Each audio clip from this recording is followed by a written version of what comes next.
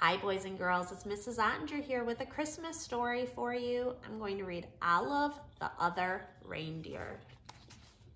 Every day, Olive took her daily dog walk. Winter, spring, summer, or fall, today was a winter's day. It was the holidays. There's music playing outside. People were singing along. Olive the other reindeer. Olive was too shy to sing. Hmm, hmm, hmm, she hummed. Back at her doghouse, Olive was wrapping presents and listening to the radio. She heard that same song again. All of the other reindeer, went the song.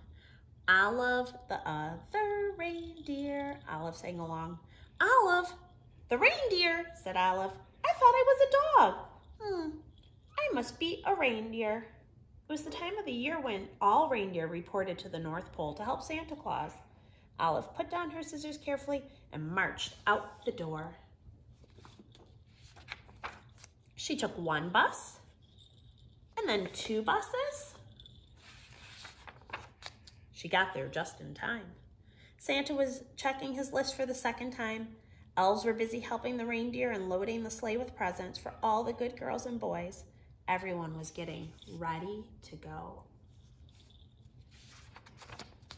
Olive took her place. Santa noticed that there was a little dog in the lineup. Santa knew a lot about dogs. For instance, they can't fly. But as it was time to go, he decided to give Olive a chance. Comet, the biggest reindeer, used a piece of extra ribbon to make sure Olive was tied in safe and tight. Now they were ready to go. Olive was surprised. It was so easy to fly. Look at her down there. The other reindeer were very curious about the new helper. They looked at Olive so much they weren't watching where they were going. Crash! They flew smack into the top of a too tall tree. Oh dear, said Santa, my sleigh is stuck in this tree. I'll have to cut it free. Olive clung to the side of the tree. She tried to fly up to help Santa, but she could not. She climbed up slowly and started chewing. Chewing sticks was something Olive could do well. Thank you, Olive, said Santa as they got back on their way. They had not traveled far when Olive's nose began to twitch. Olive smelled trouble. It was the smell of gumdrop candies as they fell from the sleigh. Drop, drop, drop. Olive barked and Santa knew what to do. He steered the reindeer down and around so that all the gumdrops fell, plop, plop, plop, back into the toy sack. We were very lucky to not lose a single gumdrop, thought Olive. Then she heard a strange sound. It was the musical note. Eee! She spun around on her string to see the night sky filled with falling flutes. Olive had to howl louder than the wind instruments. This was not music to Santa's ears. First gumdrops and now flutes, thought Santa. That tree must have torn a hole in my sled. Prepare for an emergency landing, Santa instructed. The sleigh landed in a snowy field full of flutes. Luckily, Olive was very good at fetching sticks. This is something dogs love to do. Before Santa had finished patching the hole in the sleigh, Olive had returned each and every flute back to the sack. Ho, ho, ho, said Santa. We're ready to go.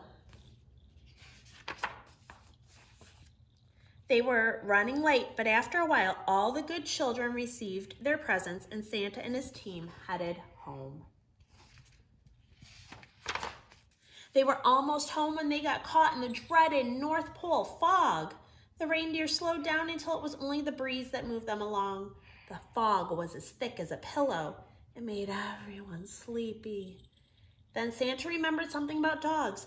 They are expert smellers. Olive, I'd hate to be late for breakfast this year, he said. Mrs. Claus has planned a parade of cookies. Hmm, you can almost smell them, can't you? Olive could smell the cookies. Olive, won't you guide my sleigh this morning, asked Santa. Olive moved to the front of the reindeer. Thanks to Olive's nose and Mrs. Claus's baking, they made it all the way back to the North Pole. All the elves sang out a cheer. Hooray, hooray, Santa and the reindeer and the little doggie are back.